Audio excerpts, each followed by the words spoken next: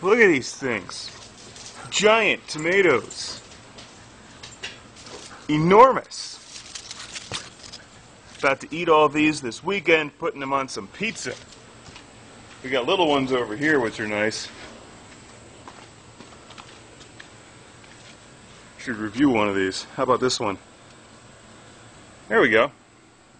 That's a, that's a tomato. So I'm about to eat this. Oh, damn, that's a good tomato. Look at these little guys. I'm going to take the stem off. Mmm. Tomatoes. Who knew they could be so good? Mmm. Ah, it's the sun. It's bright. Come here. Where are you? Stella, come here. What do you think? Just to give you a sense of scale, here's one of those little tomatoes I was eating, and you can just throw these back like 10 at a time. They're really tasty.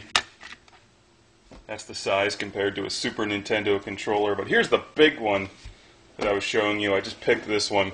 Basically, just a giant heirloom tomato. I forget the exact name, but these are terrific when you cut these up, and you can make sandwiches out of them. Use uh, tomato and cheese, throw some basil on there, like a Lord Carnage sandwich, but not quite. That's my tomatoes. My review is positive because they're awesome.